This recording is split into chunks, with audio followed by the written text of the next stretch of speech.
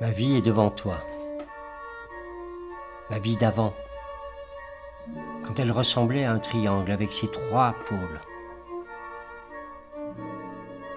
Au centre, une profonde obscurité. Là-bas, la vie, la Terre, la planète, la création divine, le Big Bang. Bref, cette vie qui pulse et que je ressens jusqu'au fond de mes tripes. Cette clameur du monde. Cette voix insoumise que je ne cesse d'interroger, de percevoir, d'escorter